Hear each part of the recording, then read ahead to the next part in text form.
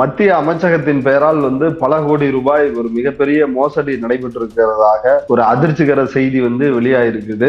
மத்திய அமைச்சகத்தினுடைய பேர்ல அந்த மோசடி நடந்துச்சுங்கிறத விட பாஜகவோட ஹெட் ஆபீஸான கமலாலயத்துல தான் அந்த மோசடியே நடந்துச்சு. தமிழ்நாட்டுல உசிலம்பட்டியை சேர்ந்த முத்துராமன் ஒருத்தன் பாஜக காரன் என்ன பண்றான்? நேரா டெல்லி போயிட்டு அந்த எம்எஸ்எம்ங்கிற பேர்ல இன்னும் வந்து எக்ஸ்ட்ரா ரெண்டு மூணு வேர்ட்ஸ் எல்லாம் சேர்த்துக்கிட்டு ஒரு ட்ரஸ்ட் ஒன்னு ஃபார்ம் பண்றான். இந்த மாதிரி குறு சிறு மற்றும் நடுத்தர நிறுவனங்களின் அமைச்சகத்துக்கு கீழே நான் செயல்படுறோம். பேங்க்ல இப்படிப்பட்ட சிறு குறு மற்றும் நடுத்தர நிறுவனங்களுக்கு லோன் வந்து நம்ம மூலியமா தான் போவோம். அமர் பிரசாத் ரெட்டி மாதிரி ஒரு பெரிய இது ஒன்று வச்சுக்கிட்டான். காருக்கு முன்னாடி போர்டு ஒன்று வச்சுக்கிட்டான். அந்த கவுன்சிலுக்கு நேஷனல் லெவல்ல சேர்மனா இந்தியன் கவர்மெண்ட் அபிஷியலா யூஸ் பண்ணக்கூடிய இந்தியன் பிளாக வந்து கார்ல யூஸ் பண்ணிருக்கு அண்ணாமலையுடைய பிஏவா ஸ்ரீகாந்த் கூடயும் மீடியா செல்லுக்கு வந்து ஹெட்டா இருப்பார் ரங்கநாயகுலு இவனுங்க ரெண்டு பேர்த்துக்கு கூடயும் கூட்டணி போடுறான். கூட்டணி போட்டு இதுல அண்ணாமலையும் கூட்டணி தான் அண்ணாமலையுடைய கையெழுத்துப்பட்ட லெட்டர் பேரை வந்து பதில் எடுத்து ஃபர்ஸ்ட் சேலத்துல கோபாலசுவாமின்னு ஒருத்தர் கிட்ட நம்மளுடைய தமிழ்நாட்டுக்கு நான் இருக்கக்கூடிய கவுன்சிலுக்கு சேர்மன் போஸ்ட் இருக்கு. இந்த போஸ்டிங் வாங்கணும்னா எவ்வளவு நான் பணம் தரணும்னு அவங்க கேட்க மூன்றரை கோடி ஆகும். ஃபர்ஸ்ட் அட்வான்ஸா ஒரு ஐம்பது லட்சம் தாங்கன்னு சொல்ல முப்பத்தொன்பது லட்சம் நேரா கையில வாங்கியிருக்கான் பதினோரு லட்சம் அக்கௌண்ட் வாங்கியிருக்கான். ஆனா வந்து சொன்ன மாதிரியே அவனுக்கு அந்த வந்து பதர் நம்ம ஸ்டேட்டுக்கான சேர்மன் போஸ்டிங் வந்து போட்டு தரல. போஸ்டிங்கே முதல்ல கிடையாது. நமிதாவோட வீட்டுக்காரரா இருக்கக்கூடிய வீரேந்திர சௌத்ரிக்காக நாலு கோடி ரூபாய் பேசி ஒரு கோடி அட்வான்ஸ் கொடுத்துட்டாங்க அந்த போஸ்டிங் நான் அவருக்கு கொடுத்துட்டேன்.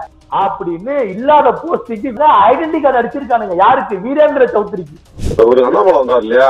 ஆமாண்ணா. அதுல வந்து சிவகங்கைக்கு ஒரு ஒன்றரை கொடுத்து விட்டேன். மதுரைக்கு வந்துட்டாரு. எழுபத்தஞ்சு ஒண்ணு கட்டி கொடுத்துருக்கேன்ட்டாங்க. நான் ஐம்பது ரூபா ஆயிரம் நம்மளுக்கு கொடுத்துருக்கேன்னு சொன்னேன். இருக்கிறத கொடுத்து விட்டுருக்கேன்ட்டாங்க அதுக்காக தான் ஓடி தரேன் நம்ம ஒன்றனா ஒன்றரை கோடி. எழுபத்தஞ்சு ஒண்ணுனா எழுபத்தஞ்சு லட்சம் ஒரு கோடி. அப்படி அண்ணாமலைக்கு தெரியாம நடந்திருந்தா நீ எதுக்கு ஒன்றரை கோடி ரூபா உன்னுடைய பாத யாத்திரைக்கு நீ யார வச்சு பணம் கேக்குற? அடிச்ச கோடையில பங்கு கூடுறா நீ கேட்கிற அப்ப உனக்கு தெரிஞ்சுதான் நடந்திருக்கு. அண்ணாமலை எல்லாம் யோசிய மாதிரி பேசுறானே. நான் கேட்கிறேன் இதுக்கு பேர் என்னடா அண்ணாமலை? நீ ஒரு ஐபிஎஸ் அதிகாரி. கட்சிக்காரனுங்க கிட்ட வந்து பணத்தை புடுங்கி பாத யாத்திரை நடத்துறனா எவ்வளவு ஒரு அயோக்கியனா இருப்ப? அண்ணாமலைங்கிற பேரை போயிட்டு கெஜெட்ல மாத்திக்கு. ஆட்டையை போடுற மலன்னு வச்சுக்கு. சிறப்பா இருக்கும். முத்துராமனுக்கு உங்களுக்கு சம்பந்தம் இல்ல சரி இல்ல. ஓகே. வச்சுப்போம். முத்துராமன் உங்க வந்து கமலாலயத்து பக்கம் வந்ததே இல்ல. வச்சுப்போம். முத்துராமனுக்காக கேஸ்ல கோர்ட்ல ஆஜராகி பெயில் கேட்கறது எந்த தரப்புனா பால் கனகராஜ். பாஜகவினுடைய மாநில துணை தலைவராக இருக்கக்கூடிய பால் கனகராஜ். ஏன்னா உங்களுக்கு அவருக்கு தான் சம்பந்தம் இல்லல்ல? உன் கட்சிக்கார வக்கீல் எதுக்கு அவனுக்கு போய் ஆஜராகி பெயில் கேட்கிறான்? ட்ரைப்ஸ் பார்வையாளர்களுக்கு வணக்கம். இன்று நம்மோடு சமூக செயல்பாட்டாளர் திரு சத்யபிரபு செல்வராஜ் அவர்கள் இணைந்துள்ளார். வாருங்கள் அவரோடு பேசலாம். தோழர் வணக்கம். வணக்கம் பிரதர் அதாவது மத்திய அமைச்சகத்தின் பெயரால் வந்து பல கோடி ரூபாய் ஒரு மிகப்பெரிய மோசடி நடைபெற்றிருக்கிறதாக ஒரு அதிர்ச்சிகர செய்தி வந்து வெளியாயிருக்குது. குறிப்பாக ஒன்றிய அரசின் சிறு குறு நடுத்தர தொழில்களின் அமைச்சகத்தின் பெயரில் இப்படி ஒரு மோசடி ஊழல் வந்து நடைபெற்றிருக்கு அப்படின்ற செய்தியை ஆதாரத்தோடு சத்யம் டிவி வந்து இன்னைக்கு வெளியிட்டு இருக்கிறாங்க அந்த பிரச்சனையினுடைய முழு பின்னணி என்ன? மத்திய அமைச்சகத்தினுடைய பேர்ல அந்த மோசடி நடந்துச்சுங்கிறத விட பாஜகவோட ஹெட் ஆபீஸான கமலாலயத்துல தான் அந்த மோசடியே நடந்துச்சு. கமலாலயத்துல இருந்துகிட்டு தான் அந்த மோசடியை வந்து இப்ப செயல்படுத்தினாங்க. அண்ணாமலையோடைய லெட்டர் பேடை வச்சுதான் அந்த மோசடியை செயல்படுத்தினாங்க. அப்படின்னு நான் சொல்றேன். சரிங்களா? இதுக்கு முன்னாடி நம்ம வந்து பதில் அதாவது அதுக்குள்ள போறதுக்கு முன்னாடி நம்ம வந்து பதில் ஒரு சில விஷயங்களை நம்ம பாத்துரலாம் அதாவது எம்எஸ்எம்இ அப்படின்னா ministry of small micro and medium enterprises குறு சிறு மற்றும் நடுத்தர நிறுவனங்களின் அமைச்சகம். இது எதுக்கு கீழே வருதுன்னா ஒன்றிய அரசுக்கு கீழே வருது. இப்ப என்ன பண்றா தமிழ்நாட்டுல உசிலம்பட்டியை சேர்ந்த முத்துராமன் ஒருத்தன் பாஜக காரன் என்ன பண்றான்? தொலைநோக்கு பார்வையோட சிந்திச்சு எப்படிலாம் திருடலாம் அப்படிங்கிறது ஒரு ஒரு வந்து புது ரூட்டை போட்டிருக்கான். நேரா டெல்லி போயிட்டு அந்த எம்எஸ்எம்ங்கிற பேர்ல இன்னும் வந்து எக்ஸ்ட்ரா ரெண்டு மூணு வேர்ட்ஸ் எல்லாம் சேர்த்துக்கிட்டு ஒரு ட்ரஸ்ட் ஒன்று ஃபார்ம் பண்றான். ட்ரஸ்ட ஃபார்ம் பண்ணிட்டு அங்க என்ன பண்றான்? ரெண்டு மூணு பேர் கூட நின்று பிரதர் போட்டோ எடுத்துக்கிறான். ஏன்னா இவன் தான் இதுல இருக்கான்ல பாஜகவுல இருக்கான்ல. போட்டோ எடுத்துக்கிட்டு அங்க இருந்து கிளம்பி தமிழ்நாடு வரான். இப்ப தமிழ்நாட்டுல என்ன பண்றான்னா இந்த மாதிரி இந்த மாதிரி குறு சிறு மற்றும் நடுத்தர நிறுவனங்களின் அமைச்சகத்துக்கு கீழே நான் செயல்படுறோம். அதாவது எங்களுடைய கவுன்சிலுக்கு நான் தான் இது வைஸ் சேர்மேன் வைஸ் சேர்மனு எனக்கு மேல சேர்மன் ஒருத்தர் இருக்காரு. அவர் வந்து நார்த் இந்தியா இங்க நம்ம வந்து பேங்க்ல இப்படிப்பட்ட சிறு குறு மற்றும் அடுத்தர நிறுவனங்களுக்கு லோன் வந்து நம்ம மூலியமா தான் போவோம். இது கிட்டத்தட்ட ஒரு கவர்மெண்ட் ஆஃப் இந்தியாவில் இருக்கக்கூடிய ஒரு வந்து கவர்மெண்ட் போஸ்ட் மாதிரி இது. அப்படின்னு இவன் சொல்றான். எங்க நின்றுட்டு சொல்றான் டீ கடையில நின்றுட்டு சொல்லல பிரதர் கமலாலயத்துல இருந்துட்டு எல்லாத்தையும் வரவழைச்சு சொல்றான் அவரு கமலாலயத்துலதான் அவரோட வேலையா? கமலாலயத்துலதான் சாரோடைய திருடுற வேலை கமலாலயத்துலதான். கஸ்டடியில இந்த உண்மையை கஸ்டடியில வேற சொல்லியிருக்கான். போலீஸ் கஸ்டடியில வேற சொல்லியிருக்கான். அதை நான் லாஸ்டா சொல்றேன். இப்ப என்ன பண்றான் நீங்க எல்லாம் வாங்க. உங்களுக்கு எங்க கவுன்சிலோட சேர்மனை இன்ட்ரோ பண்றேன். அப்படின்னு டெல்லி கூட்டு போறான். டெல்லி கூட்டு போய் ஸ்டார் ஹோட்டல்ல ஸ்டார் வந்து அப்படி ஒரு கவுன்சிலும் கிடையாது. இவனுக்கு அதுக்கு சம்பந்தமும் கிடையாது. ஆனா அந்த அந்த வந்து கவுன்சிலுடைய சேர்மனை இன்ட்ரோ பண்றேன் அப்படின்னு சொல்லி ஒருத்தர் இன்ட்ரோ பண்ணிருக்கான் இங்க இருந்து தமிழ்நாட்டுல இருந்து வந்து பதர் கூட்டிட்டு போனவங்களுக்கு தான். அந்த போட்டோ உங்களுக்கு அனுப்பிச்சிருக்கேன். அந்த போட்டோல இவன் யார சேர்மன் சொல்லி இன்ட்ரோ பண்ணானோ அவர் சேர்மன் கிடையாது. அவர் அந்த ஹோட்டல்ல வேலை செய்யக்கூடிய ஒரு தொழிலாளி. அவருக்கு தொலை தொலை தொலை ஒரு ட்ரெஸ்ஸை போட்டு விட்டு ஒரு குல்லா ஒண்ணு வாங்கி வச்சு ஒரு கண்ணாடி ஒண்ணு போட்டு விட்டு இவருதாயா மந்திரி இவருதாயா சேர்மனு அப்படின்னு இங்க இங்க இருந்து கூட்டிட்டு போறவங்கள வந்து பிரதர் சால்வெல்லாம் போட வச்சு பொன்னாடெல்லாம் கொடுத்து அந்த ஆளுக்கு கிஃப்ட் எல்லாம் கொடுத்து நம்ப வச்சு ஏமாத்திருக்கான். அந்த போட்டோல கீழே ஒரு போன் இருக்கும். அந்த போனை பார்த்தாலே நீங்க வந்து பிரதர் முடிவு பண்ணிடலாம். இவருக்கும் அந்த இவன் வந்து சொல்ற போஸ்டிங்க்கும் சம்பந்தம் இருக்கா அப்படின்ட்டு. பாவம் பிரதர் அவர் ஹோட்டல்ல வேலை செய்யக்கூடிய ஒரு நபர் பாவம். அவரே கூலி வேலைக்கு வந்திருக்காரு. அவர்கிட்ட போய் நானூறு ரூபாய் ஐநூறு ரூபாய் காசை கொடுத்து இந்த மாதிரி பண்ணி ஏமாத்திருக்கான். இப்ப இங்க இருந்து திரும்ப இங்க வந்து என்ன பண்றோம்? நம்ம கவுன்சில்ல பல விஷயம் பண்றாங்க. அடுத்த சேர்மனா நான் தான் வரப்போறேன் அப்படின்னு சொல்லியிருக்கான். ஏன்னா சும்மா சும்மா இவன் வந்து பதில் சேர்மனா இன்னொருத்தரை வந்து பதில் நான் அடிக்க வைக்கிறதுக்கு கஷ்டமா இருக்கும்ல. அப்ப வந்து நான் தான் அடுத்த சேர்மன் சொல்லி இவனுக்கு இவனே அந்த அமர் பிரசாத் ரெட்டி மாதிரி ஒரு பெரிய இது ஒன்று வச்சுக்கிட்டான். காருக்கு முன்னாடி போர்டு ஒன்று வச்சுக்கிட்டான். அந்த கவுன்சிலுக்கு நேஷனல் லெவல்ல சேர்மனா இந்தியன் பிளாக் அதாவது இந்தியன் கவர்மெண்ட் அபிஷியலா யூஸ் பண்ணக்கூடிய இந்தியன் பிளாக வந்து கார்ல யூஸ் பண்ணிருக்கான். இப்ப அடுத்து என்ன பண்றான் அண்ணாமலையுடைய பிஏவா அதாவது ஆபீஸ் செக்ரட்டரியா இருக்கக்கூடிய ஸ்ரீகாந்த் கூடயும் மீடியா செல்லுக்கு வந்து ஹெட்டா இருப்பார் ரங்கநாயகுலு. இவனுங்க ரெண்டு பேர்த்து கூட்டணி போடுறான். கூட்டணி போட்டு இதுல அண்ணாமலையும் கூட்டணி தான். இதை நான் லாஸ்டா சொல்றேன். அண்ணாமலையும் கூட்டணி தான். இதை நான் லாஸ்டா சொல்றேன். அண்ணாமலை கிட்ட இருக்கக்கூடிய அண்ணாமலையுடைய கையெழுத்து போட்ட லெட்டர் பேரை வந்து எடுத்து அண்ணாமலை கொடுக்குற மாதிரி இவனுக்கு என்ன பண்ணிருக்காங்க அண்ணா அதாவது அண்ணாமலை தான் கொடுத்தது. இதை நான் லாஸ்டா சொல்றேன். ஆனா இப்ப இவனுக்கு வந்து செட் பண்றது அண்ணாமலைக்கு தெரியாத மாதிரி நடந்ததா சொல்றானுங்க. அந்த லெட்டர் பேரை வச்சு அண்ணாமலையே இந்த கவுன்சிலுக்கு வந்து சப்போர்ட் பண்ற மாதிரி கட்சிக்காரங்கள்ட்ட இவனுங்களே கொடுத்துருக்காங்க. ஃபர்ஸ்ட் சேலத்துல கோபாலசுவாமின்னு ஒருத்தர் கிட்ட நம்மளுடைய தமிழ்நாட்டுக்கு நான் இருக்கக்கூடிய கவுன்சிலுக்கு சேர்மன் போஸ்ட் இருக்கு. இந்த சேர்மன் போஸ்ட் பாத்தீங்கன்னா கிட்டத்தட்ட கவர்மெண்ட் போஸ்ட் மாதிரி. இதற்கு வந்து ஃப்ளைட் ஃப்ரீ ட்ரெயின் ஃப்ரீ நமக்கு வந்து எல்லா இடத்துலயும் முன்னுரிமை ஃபர்ஸ்ட் ப்ரிஃபரன்ஸ் இப்படிப்பட்ட விஷயங்கள்லாம் ஒரு ஆசையை தூண்டுறான் அப்புறம் இங்க வந்து லோன்ஸ் எல்லாம் கொடுக்கணும்னாக்க நம்ம மூலியமா தான் லோன்ஸ் கொடுப்பாங்க. நமக்கு எல்லா லோன்லயுமே நமக்கு கமிஷன் உண்டு அப்படின்னு சொல்றான் உடனே அதையும் என்ன சொல்றாங்க? சரிங்க அதெல்லாம் ஓகே இந்த போஸ்டிங் வாங்கணும்னா எவ்வளவு நான் பணம் தரணும்னு அவங்க கேட்க மூன்றரை கோடி ஆகும். ஃபர்ஸ்ட் அட்வான்ஸா ஒரு ஐம்பது லட்சம் தாங்கன்னு சொல்ல. முப்பத்தொன்பது லட்சம் நேரா கையில வாங்கியிருக்கான். பதினோரு லட்சம் அக்கௌண்ட் வாங்கியிருக்கான். ஆனா ஆனா வந்து சொன்ன மாதிரியே அவனுக்கு அந்த வந்து பிரதர் நம்ம ஸ்டேட்டுக்கான சேர்மன் போஸ்டிங் வந்து போட்டு தரல. அப்படி போஸ்டிங்கே முதல்ல கிடையாது. இப்ப என்ன பண்றான்? அந்த கோபாலசாமி வந்து நான் கொடுத்த பணம் என்ன ஆச்சு வேலை என்னாச்சுன்னு கேட்க. உன்னைய விட ஐம்பது லட்ச ரூபாய் சேர்த்து நாலு கோடி ஒருத்தங்க என்கிட்ட கொடுத்துட்டாங்க. அவங்க யாருன்னா? நடிகை நமிதா. நமிதாவோட வீட்டுக்காரரா இருக்கக்கூடிய வீரேந்திர சௌத்ரிக்காக நாலு கோடி ரூபாய் பேசி ஒரு கோடி அட்வான்ஸ் கொடுத்துட்டாங்க. அந்த போஸ்டிங்கை நான் அவருக்கு கொடுத்துட்டேன். அப்படின்னு இல்லாத போஸ்டிங்க்கு விசிட்டிங் கார்டு அடிச்சிருக்கானுங்க. விசிட்டிங் கார்டு விசிட்டிங் கார்டு அடிச்சிருக்கானுங்க. ஐடென்டி கார்டு அடிச்சிருக்கானுங்க. யாருக்கு? வீரேந்திர சௌத்ரிக்கு. சொல்லவும் அந்த ஆள் என்ன பண்ணிட்டாப்ல பொறுத்து பொறுத்து பார்த்து தான் சேலம் போலீஸ்ல வந்து கம்ப்ளைண்ட் கொடுத்துருக்காப்ல ஒண்ணு. கோபால்சாமி. ஆமா. அதன் பேர்ல தான் இப்ப வந்து இப்ப அந்த உசிலம்பட்டி முத்துராம வந்து ஜெயில்ல இருக்கான். கஸ்டடி எடுத்து விசாரிக்கும் பொழுது அவன் என்ன சொல்றான்னா எனக்கும் இதுக்கும் சம்பந்தம் இருக்கு. ஆனா இதெல்லாம் நான் கமலாலயத்துல இருந்து தான் பண்ணேன். கமலாலயங்கிறது பாஜகவினுடைய head office Tamil Nadu head office அப்படின்னு கஸ்டடியில உண்மையை சொல்லியிருக்கான். அடுத்தது பாத்தீங்க அப்படின்னா இந்த போன் கால்ஸ்ல சொன்னதா இருக்கட்டும் கஸ்டடியில சொன்னதாக இருக்கட்டும் என்னன்னா அண்ணாமலையுடைய பாத யாத்திரைக்கு நான் தான் பணம் கொடுத்துருக்கேன். எவ்வளோடா கொடுத்துருக்க? இந்த மாதிரி அவன் சொல்ற ஸ்லாங் தான். அண்ணாமலை வராரு அந்த இது சிவகங்கைக்கு வராருல்ல அதுக்கு ஒன்றை கேட்டாக நானா பார்த்து கொடுத்து விட்டேன். இவன் என்னமோ உழைச்ச காசு. நானா பார்த்து கொடுத்து விட்டேன். அடுத்தது மதுரைக்கு வராக கேட்டாக ஒரு எழுபத்தஞ்சு ஒரு ரூபா கிடைக்குமான்னு கேட்டாக அண்ணே நான் அதுக்கே வந்து ஒன்றரை கொடுத்துருக்கேன். இதுல நான் ஒரு ஐம்பது ரூபா மட்டும் பார்க்கிறேன்னு. இந்த மாதிரி கே- ஒரே டைட்டா இருக்கு கொடுக்கணும். ஒன்றரைனா ஒன்றரை கோடி. எழுபத்தஞ்சு ஒண்ணுனா எழுபத்தஞ்சு லட்சம் ஒரு கோடி. ஆனா நான் ஐம்பது லட்ச ரூபா தான் என்னால கொடுக்க முடியும். எல்லாம் என்னமோ உழைச்சி கஷ்டப்பட்டு சம்பாதிச்ச காசு மாதிரி ஆட்டையை போடுற காசு தானே. இப்படி கொடுத்த வாக்குமூலத்தை நாம கேட்டிருப்போம். இததான் கஸ்டடியிலையும் சொல்லியிருக்கான். இதுல நம்மளுடைய கேள்விகள் என்னன்னா இதுல இதுல வந்து இதுல வந்து எது குற்றச்சாட்டுன்னா ஒன்றிய அரச பேர் அதாவது பிரதர் ஒன்றிய அரசாங்கத்துடைய பேரை வச்சு ஏமாத்துறதுலாம் அடுத்த விஷயம். இத அவன் ஸ்டார் ஹோட்டல்லையோ இல்ல வந்து பிரைவேட்டான ஒரு இடத்துலயோ வச்சு ஏமாத்தல. பிஜேபி ஹெட் ஆபீஸ்ல வச்சே இந்த போர் டுவெண்ட்டி திருட்டுத்தன வேலைய பண்ணியிருக்கா. இது அண்ணாமலைக்கு தெரியுமா தெரியாதா?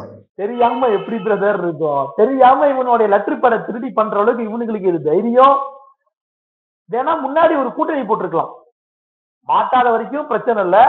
ஒருவேளை மாட்டிட்டீங்கன்னா எனக்கு அதுக்கு சம்பந்தம் இல்ல. எனக்கு தெரியாம நடந்த மாதிரி காமிச்சீங்கடான்னு அண்ணாமலை ஸ்கெட்ச் போட்டு கொடுத்துருப்பான். அப்படி அண்ணாமலைக்கு தெரியாம நடந்திருந்தா நீ எதுக்கு ஒன்றரை கோடி ரூபாய் உன்னுடைய பாத யாத்திரைக்கு நீ யாரை வச்சு பணம் கேட்கிற அவ்வளவு உரிமையா எதுக்கு அவன்கிட்ட பணம் கேட்கிற அப்ப நம்ம எல்லாம் சேர்ந்துதான் திருடுற கொள்ளை அடிக்கிறோம். அடுத்த கொலையில பங்கு கூடுறான்னு நீ கேட்கிற அப்ப உனக்கு தெரிஞ்சுதான் நடந்திருக்கு. அண்ணாமலைக்கு தெரிஞ்சுதான் அந்த விஷயம் நடந்திருக்குன்னு நான் சொல்றேன். இதுல ஹைலைட்டான ஒரு விஷயம் பிரதர் ஒன்றிய அரசு இப்படிப்பட்ட சாதுத்தனம் பண்ணின விஷயம் வந்து அங்க அவ- அவங்களோட நாலேஜுக்கு போகவும் எங்களுக்கும் இந்த கேக்குறான் கேக்குறான் டுபாகூர் கம்பெனிக்கு சம்பந்தம் இல்லைங்க. நாங்க வேற அவங்க வேற. அப்படின்னு பிரஸ் நோட்டு கொடுத்திருக்காங்க. அப்படின்னு அபிஷியல் அனௌன்ஸ்மெண்ட் பண்ணிருக்காங்க. கவர்மெண்ட் நான் ஒன்றிய அரசு வந்து அபிஷியலா அனௌன்ஸ்மெண்ட் பண்ணிருக்கு. என்னன்னு சொல்ல போனா பிரஸ் ரிலீஸ் கொடுத்துருக்கு. அதை நான் உங்களுக்கு அனுப்பிச்சிருக்கேன் பாருங்க நீங்க. இப்படி இவன் அதை பொதுமக்களை மட்டும் ஏமாத்தினா கூட அதாவது இதுவை ஏதாவது இதன் சார்பா பொதுமக்களை ஏமாத்தல அவன். கட்சிக்காரனுங்களையே ஏமாத்தி இருக்கானுங்க பாஜக கட்சிக்காரனுங்களே ஏமாத்தி இருக்கானுங்க கட்சிக்காரனுங்க கிட்ட பணத்தை புடுங்கி அந்த பணத்தை கட்சிக்கே செலவு பண்ணியிருக்கானுங்க பாத யாத்திரைங்கிற பேர்ல. இப்ப புரியுதா? இந்த பாத யாத்திரை எப்படி எல்லாம் வந்து போகுது வருதுன்னு? ஓ அதனாலதான் இத வசூல் யாத்திரை அப்படின்னு வந்து எல்லாரும் இது மேல விமர்சனம் வைக்கிறாங்களா? விமர்சனம்லாம் இல்ல. அதான் உண்மை. வசூல் யாத்திரை வசூல் யாத்திரை வசூல் யாத்திரை. அண்ணாமலைலாம் யோக்கிய மாதிரி பேசுறானே. நான் கேக்குறேன். இதுக்கு பேர் என்னடா அண்ணாமலை? இதுக்கு பேர் என்ன நீ சொல்லு? இல்ல நீ நீ சொல்லு. நீ ஒரு ஐபிஎஸ் அதிகாரி. ஒருத்தர் ஒரு கவுன்சில் பேரை வச்சு உன் கட்சி பாவம். கௌதமி அக்காவையும் ஏமாத்திட்டு ஒண்ணு இல்லாம ரோட்ல விட்டுட்டீங்க. அடுத்தது நமிதா காட்டி நாலு கோடி ரூபா போட்டீங்களா? பத்து கோடி போட்டீங்களா? அந்த அக்கா வேற ஹாய் மச்சான் ஹாய் மச்சான் ஜாலியா சுத்திட்டு இருந்துச்சு. இப்ப அந்த அக்காவையும் பணத்தை பிடிங்கி ரோட்ல விட்டுட்டீங்க.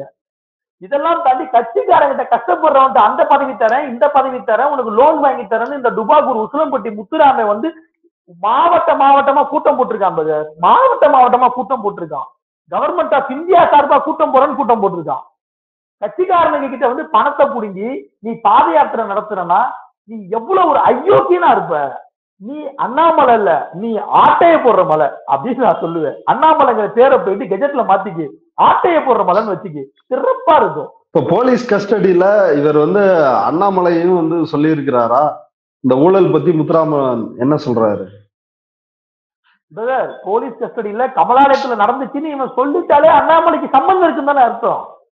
ஏன்னா அந்த ஆபீஸ்ல அண்ணாமலை தானே ஹெட்டு ஏன்னா அண்ணாமலை தானே வந்து நேஷ் இது ஸ்டேட் பிரசிடென்ட் அண்ணாமலையோட லெட்டர் பட வச்சு தானே பண்ணியிருக்கானுங்க.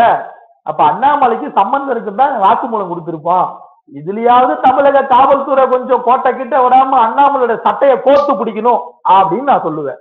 இப்ப இதற்கும் தனக்கும் சம்பந்தம் இல்லை அப்படின்ற மாதிரி தான் அண்ணாமலை காட்டிக்கிட்டு இருக்கிறாரு. ஆனால் இந்த முத்துராமனுக்கு ஆஜராகி அவருக்கு வழக்கு நடத்துறது யாரு? ஆஹ் இப்ப வாங்க. ஆமா ஆமா அண்ணாமலை பச்சை குழந்தை பிரதர் அவருக்கு பச்சை தண்ணி கூட எந்த கலர்ல இருக்குன்னு தெரியாது. டேய் அண்ணாமலை. பிரதர் என்னத்த சொல்றது? சரி முத்துராமனுக்கு உங்களுக்கு சம்பந்தம் இல்லைல்ல. சரி இல்ல ஓகே வச்சுப்போம். முத்துராமன் ஏதோ டுபாகூர் ஃப்ராடு வச்சுப்போம். முத்துராமன் உங்க வந்து கமலாலயத்து பக்கம் வந்ததே இல்லை. வச்சுப்போம்.